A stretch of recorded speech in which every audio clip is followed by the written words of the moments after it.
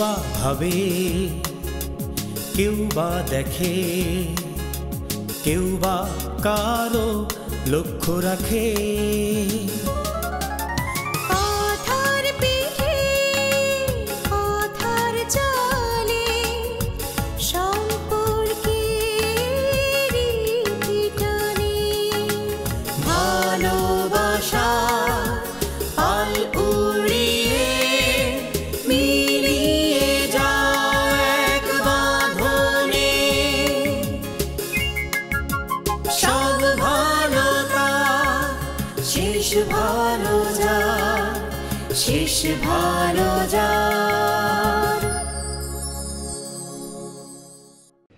বসে বসে এসব চিন্তা না করে ওকে একটা কল করলেই তো জানতে পারো। একবার করেছিলাম। তখন বলল কাজ শেষ হলেই চলে আসবে।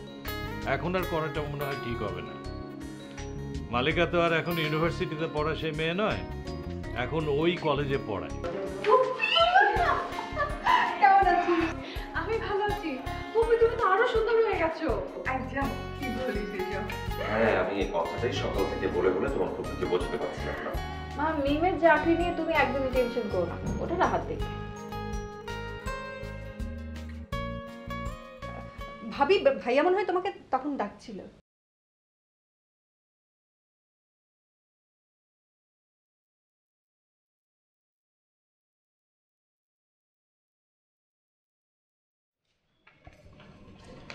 এই শোনো শোনো। হ্যাঁ বলো।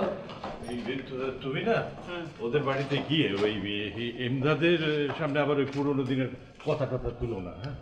তুমি নিশ্চিন্ত থাকো আমি কোনো কথা তুলবো না। তবে ও যদি এই প্রসঙ্গে কিছু বলে আমিও তাহলে ছেড়ে কথা বলব না। ভাবি তুমি কি ভুলে গেছো যে ওই বাড়িতে তুমি ছেলের বিয়ের দাওয়াত দিতে যাচ্ছ? তাতে কি ওর সামনে ছোট হয়ে থাকতে হবে নাকি? ইট মারলে পাটকেলটাও খেতে হবে। এই চুমকি তুই কি জানিস যে রাহাত বাসায় আছে নাকি?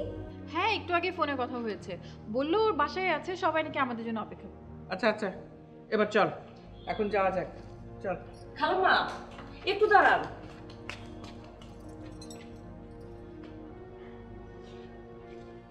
খালাম্মা এবার ডান পা সামনে দিয়া চলা শুরু করেন। ইনশাল্লাহ বিজয় আপনাদেরই হবে। আচ্ছা হয়েছে চলো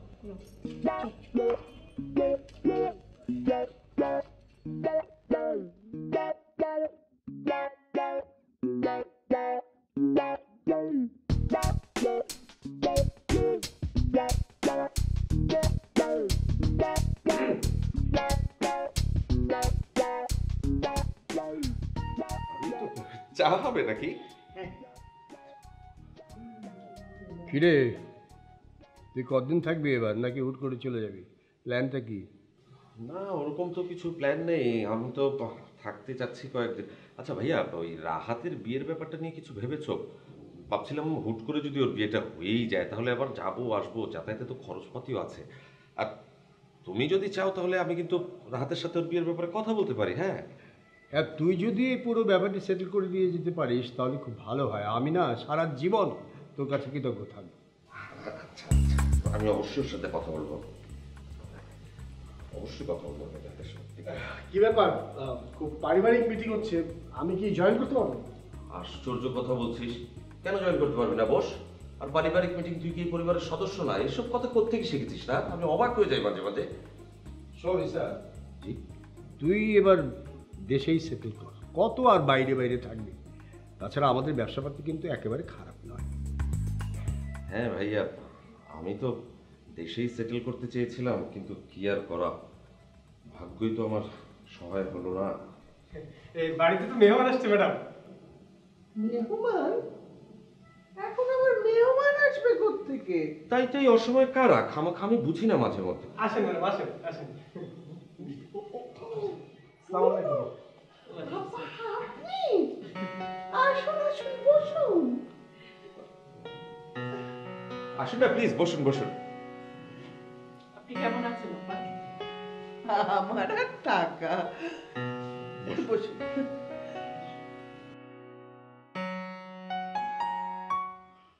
ভালো আছেন?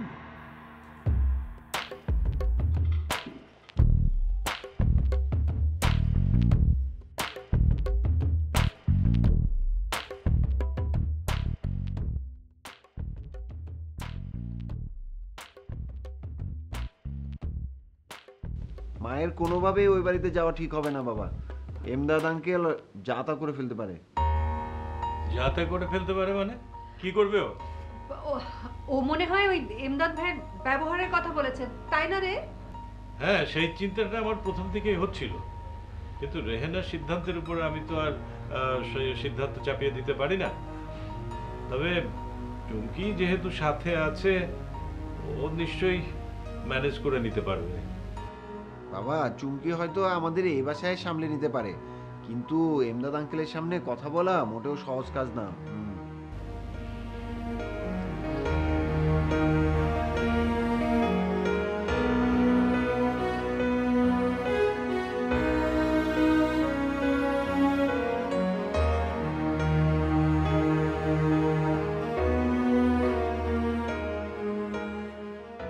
মিষ্টি খান না, আপনারা মিষ্টি খান, মিষ্টি।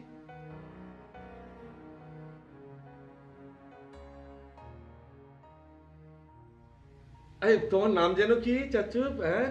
চুমকি। চুমকি। হ্যাঁ হ্যাঁ চুমকি। কত বড় হয়ে গেছে না? এখন কি পড়ছো? আমি অনার্স ফাইনাল দেব।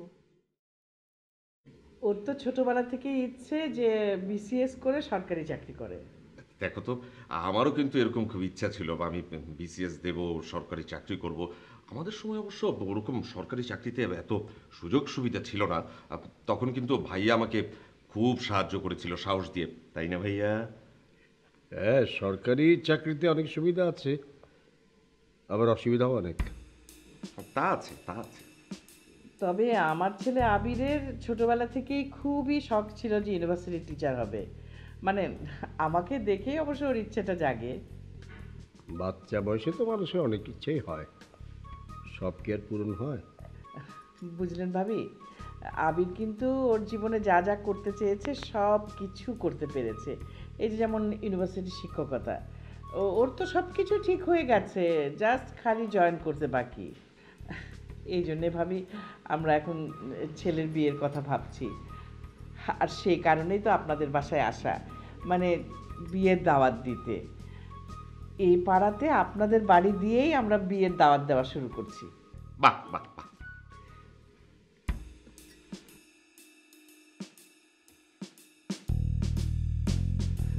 আমরা চাই আমাদের ছেলের বিয়েতে আপনারা সবাই মিলে উপস্থিত থেকে ওদেরকে দোয়া করে আসবেন।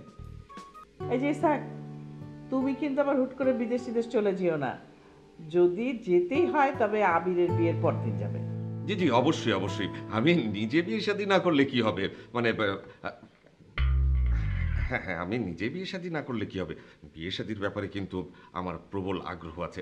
ভাবি জানে তো ভাবি জানে। আর হয়েছে কি যে আবির তো আপনাদের ছেলে কি হবে? ও তো আমাদের ছেলের মতোই। ওর বিয়ে শাদীতে প্রয়োজন হলে আমি অনেক দায়িত্ব পালন করব অনেক দায়িত্ব পালন করব। আপনি একদম ভাববেনই না তাই না ভাইয়া?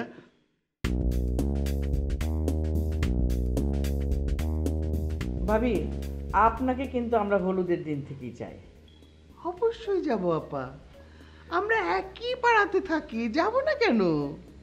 তাই তো যাবে না কেন? আচ্ছা চুমকি আবিরের বউ মানে তো তোমার হবু ভাবি। তা কি করে সে? মানে পড়াশোনা কোথায় করছে নাকি আবিরের সঙ্গে একসাথেই পড়েছে হ্যাঁ?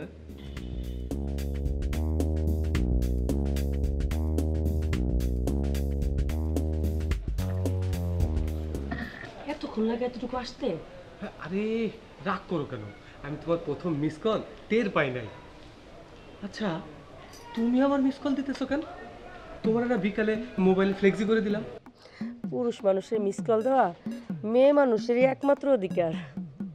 আচ্ছা শুনেন ওই দিকের খবর কি? খবর? খবর মহা গুরুতর।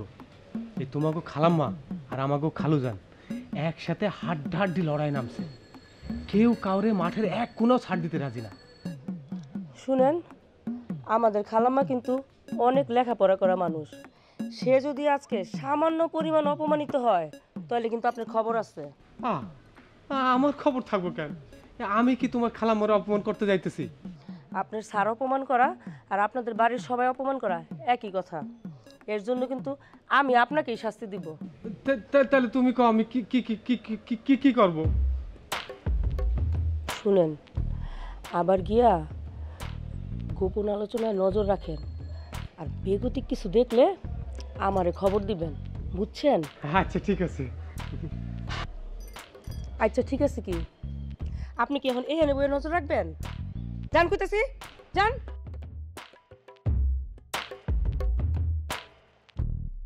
বলেন কি আবা মেয়ে ডাক্তার? আরে এটা তো দারুণ ব্যাপার হ্যাঁ দারুণ ব্যাপার। আপনার ছেলে কিন্তু একটা কাজের মতো কাজ করেছে। ফ্যামিলিতে একটা ডাক্তার থাকা মাত্র কত ধরনের সুবিধা? এটা আপনি কদিন পর ঠিক ঠিক টের পাবেন। তাই না ভাইয়া? সবই তোমাদের দোয়া ইসাক না হলে আমাদের আবির যা সহজ সরল ছেলে ওর ভবিষ্যৎ নিয়ে তো আমরা একসময় চিন্তাই পড়েছিলাম। আপনার ছেলে তো কম না পা। ইউনিভার্সিটির শিক্ষক। অনেক বড় ব্যাপার। ও একেবারে আপনার মতো হয়েছে। একদম একদম। এমদাদ সাহেব এই বিয়ের তিনটে দিনই কিন্তু আপনাকেও আমরা আমাদের পাশে চাই। মানে বুঝেনি তো আবিরের বাবা একা মানুষ। একা একা তো সব দিকে সামলে উঠতে পারবে না। থাকবে ভাইয়া থাকবে। হ্যাঁ যেতে পারলে তো আমিও মানে আমরাও খুব খুশি হতাম।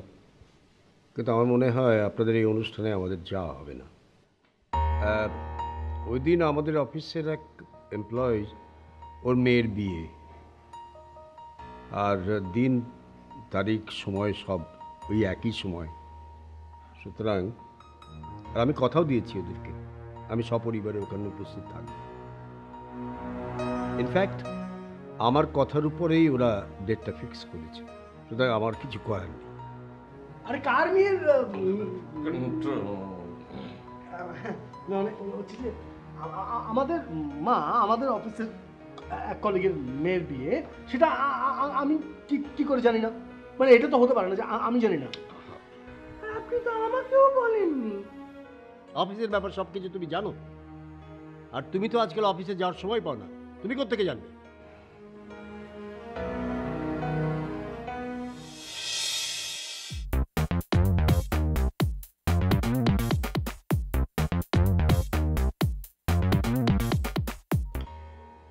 আপনারা সবাই আমার ছেলের বিয়েতে উপস্থিত থাকলে আমরা খুব খুশি হতাম এমদাদ সাহেব তবে হ্যাঁ বুঝতেই পারছি, আমাদের খুশি করার ব্যাপারটা বোধহয় আপনার ক্ষমতার বাইরে।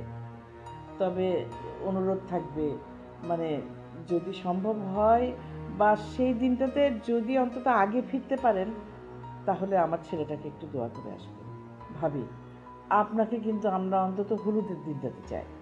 সেটা বোধহয় পারবে না, মিসেস করিম কারণ আমাদের এমপ্লয়ের মেয়ের বিয়েটার গায়ে হলুদও ওই দিনই হবে, ওই সময়ই হবে। তাহলে আঙ্কেল, আপনাকে আর অনুরোধ করব না।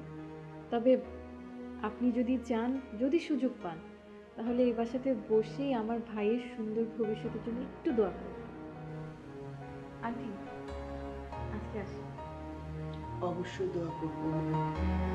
কেউ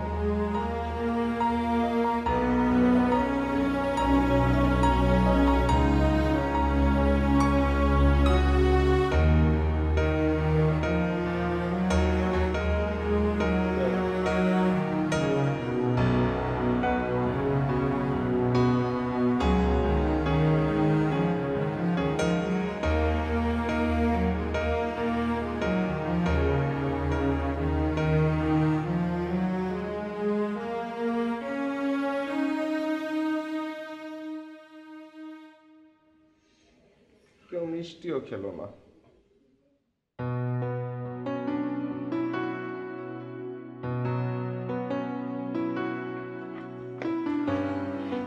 আন্টি মানে বাবার ব্যবহারে না আমি সত্যি দুঃখিত। মানে আপনারা কিছু মনে করবেন না প্লিজ না না না। এমদাদের কাছ থেকে এরকম ব্যবহার পেতে পারি সেটা জেনেই কিন্তু আমরা এসেছিলাম। আর তোমার বাবার ব্যবহারের জন্য তুমি কেন সরি বলছো? তুমি তো কোনো অন্যায় করনি বাবা। তারপর আন্টি বাবার ভুলের ক্ষমা চাওয়ার দায়িত্ব ছেলের উপরে এসেই পড়ে। আহ, রাহাত তুমি তোমার বাবাকে যতটা চেনো আমি বোধহয় এমদাদকে তার চেয়ে একটু বেশিই চিনি। আর সত্যি তো যদি ওই দিন তোমাদের কোনো ফ্যামিলি প্রোগ্রাম থেকেই থাকে তাহলে তো আসলেও কিছু আর করার নেই। তবে বাবা, আমি খুব খুশি হয়েছি তোমার দায়িত্ববোধ দেখে। এমদাদের বাড়িতে বড় হয়ে তোমার এই যে দায়িত্ববোধ, আমি বুঝতে পারছি এটা পুরোটাই তোমার মায়ের কৃতিত্ব। দোয়া করি বাবা, তুমি ভবিষ্যতে এই রকম দায়িত্ববোধ নিয়ে সব কাজ করো।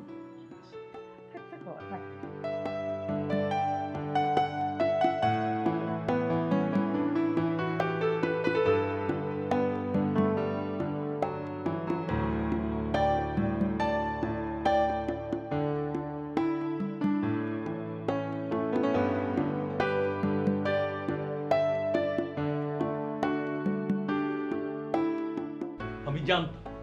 আমি জানতাম এইরকম একটা কিছু ঘটবে। তো মানুষ নয় ও একটা আস্ত আচ্ছা আচ্ছা, থামো থামো থামো। দেখো আমাদের দায়িত্ব আমরা পালন করেছি। এখন ওরা যদি আগের থেকে কোনো প্ল্যান করে কিছু করে থাকে তাহলে তো আমাদের আসলে কিছু করারই নেই। কিন্তু ইমদাদ আঙ্কেলের অফিসে যে কোনো বিয়ে আছে এটা তো কেউই জানতো না। রাহাতও তো এমন কিছু জানে না নিশ্চয়ই। ও আসলে প্ল্যান করে এসব করেছে। ঠান্ডা মাথায় প্ল্যান করে তোমাদেরকে অপমান করেছে। অপমান করতে চাইলেই কি আর মানুষকে অপমান করা যায়? যখন যে মানুষকে অপমান করা হচ্ছে সে যদি সেটা গায়ে না মাখে? আর একটা কথা ভেবে দেখো তো আজ পর্যন্ত এমদাদের করা কোন অপমানটা আমাদের চলার পথে বাধা হয়ে দাঁড়িয়েছে? ভাবি কিচ্ছু ভেবো না। একটা কথা মনে রেখো যে ইট মারলে পাটকেল দিয়ে খেতে হয়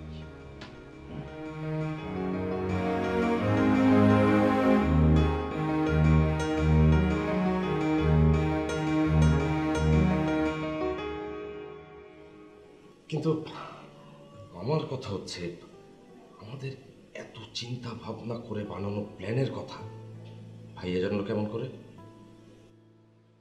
আরে না না না। আস্তে। আমি এমন কিছু বলিনি যাতে তোমার ভাইয়া একটু হলেও কিছু আঁচ পায়। তাহলে? আহা মা আমার তো মনে হয় ড্যাড এই বিষয়ে কিছুই জানে না। এটা সে প্রতিদিনের একটা রিয়াকশন দিয়েছে মাত্র। জাস্ট প্রতিদিনের মতো করে একটা রিয়াকশন তো আমি এখন ভাবছি যে আবিরের বিয়েতে যদি আমরা না যেতে পারি তাহলে তো পরবর্তী প্ল্যানগুলো সাকসেসই হবে না। না না না আমি না, না, আমি আর ভাবতে পারছি না। আর হাত আমার যেটা মনে হয় আমাদের পুরনো প্ল্যান সব বাদ করে দেওয়া উচিত। আবার নতুন করে প্ল্যান বানাতে হবে সেটাকে সাকসেসফুল করতে হবে। আচ্ছা কাজ করলে কেমন হয়?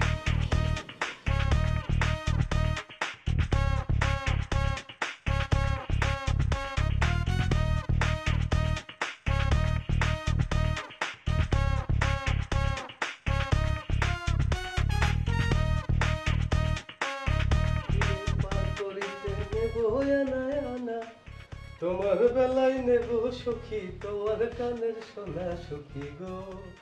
ও আমি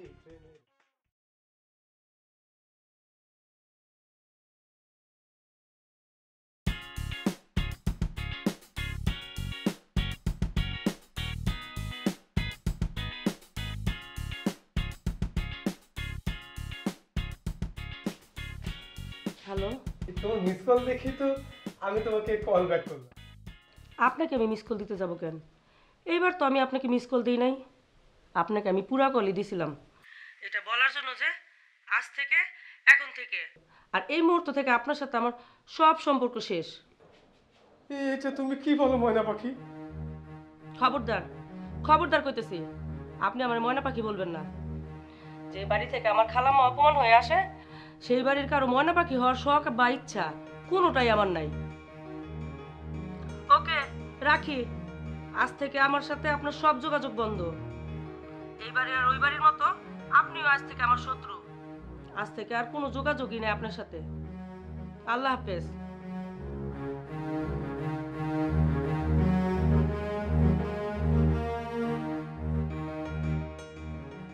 এটা আপনি কি করলেন, স্যার? নিজের ছোট ভাইয়ের জীবন ধ্বংস করছেন।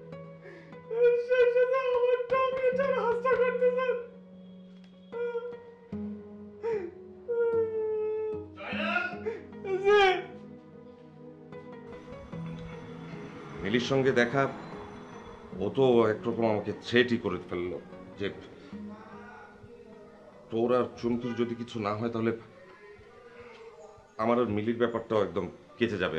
ও আমাকে একদম স্ট্রেট মুখের উপর বলেই ফেলল। এখন বলতো মানে তোর কি মতামত? আমি আমি একটু জানতে চাই। মানে তুই বুঝতে পারছিস? মানে তোর জীবনের সঙ্গে এখন আমার জীবনটা একদম আষ্টে পৃষ্ঠে আটকে গেছে। আমি আমি আমি কি করব বললাম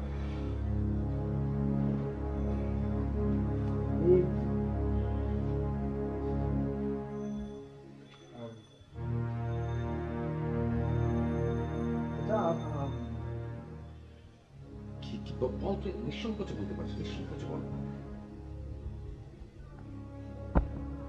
না ঠিক বুঝতে পারি না তুই ওকে ভালোবাসিস তো।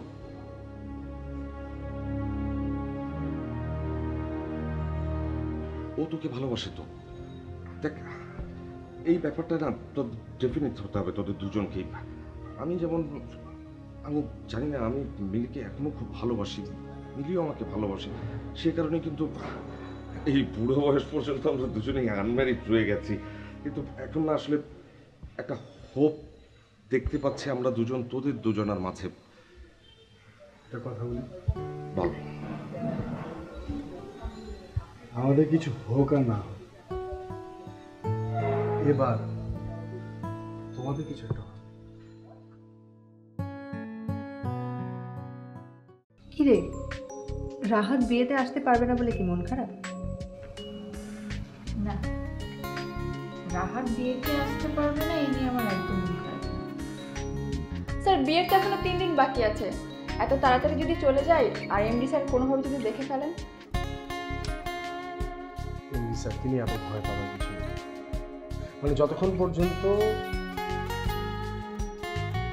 আপনার সাথে চুমকিতে যে একটা সম্পর্ক আছে আমাদের পরের প্ল্যান এক্সিকিউট করব আবিরের বিয়ের দিন সকালে রাইট রাইট